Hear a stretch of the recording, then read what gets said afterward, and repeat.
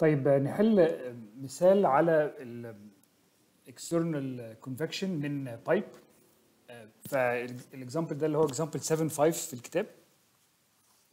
ففي ال example ده بيقول إيه؟ أنا عندي steam pipe عندها 10 سم diameter فال diameter بتاعها 10 سنتيمتر.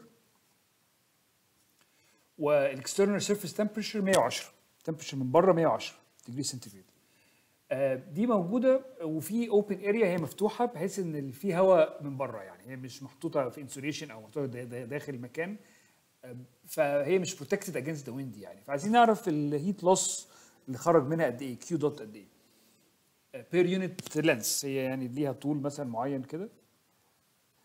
فهناخد ال per unit length ال Q dot قد إيه. بنتكلم بقى إن بره الهواء اللي جاي من بره ال temperature بتاعته 10 degree centigrade وال wind is blowing ال velocity بتاعت ال wind اللي إحنا كنا مسمينها V كبيرة دي ب 8 متر per second okay آه طيب أول حاجة إحنا قلنا إن بنجيب ال properties بتاعت ال fluid إحنا دلوقتي بنتكلم على ال fluid فمحتاجين نجيب ال film temperature عشان نعرف ال properties عنده. آه فعندي ال film temperature اللي هي ال average ما بين ال temperature infinity اللي جاي من بعيد بتاعت ال free stream وال temperature على السطح.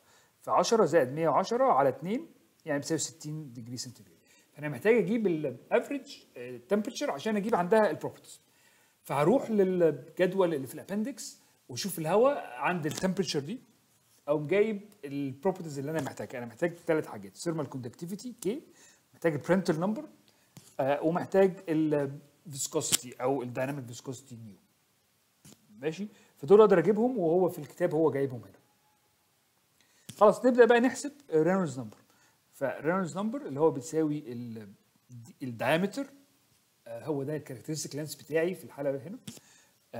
في ال velocity على ال kinematic viscosity فلما حسبنا ده طلع 4.219 في 10 اس 4 فتعلمنا من من ده إن ده أقل من 2 من من 5 في 10 اس 5 هو أقل منها.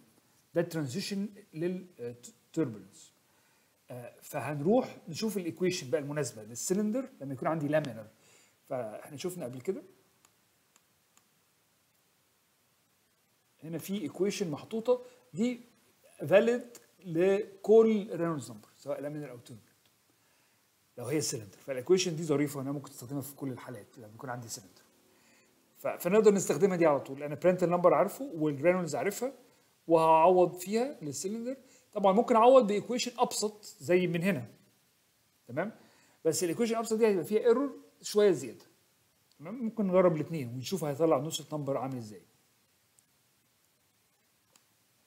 آه ال equations الأبسط هي هنا يعني. أنا ما كانتش واضحة هي ال equations الأبسط اللي هي تمام؟ ف هنعمل إيه؟ أنا جبنا ال equation الكبيرة دي عوضنا فيها طلع Nusselt number بيساوي 124 فممكن ال Nusselt طبعا ال definition بتاعه هو اتش دي على K ممكن أحسب الاتش فحسبنا ال h طلعت 34.8 watt per meter squared kelvin خلاص بعد ما حسبنا ال heat transfer coefficient يبقى إحنا بنحسب ال Q dot بالطريقة اللي إحنا عارفينها ال h في ال area ال surface area of heat transfer في ال T infinity minus ال T s أو T s minus T infinity حسب مين أكبر.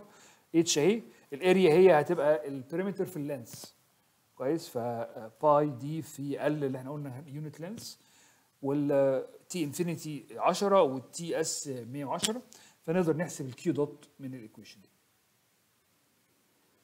لو كنا حسبنا Nusselt number من ال equations الابسط كانت هتطلع 128 بدل 124 فمش فارقة قوي إحنا طلعناها 124 كانت هتطلع 128 أعلى سنه يعني. فطبعا أنت تحسب الأرقام الأقل أحسن. على حسب يعني انت عايز تشوف ال conservative side إمتى يعني انت عايز تحط insulation ولا عايز تشوف ال loss قد إيه وكده تمام. نشوف بقى example تاني الفيديو الجاي.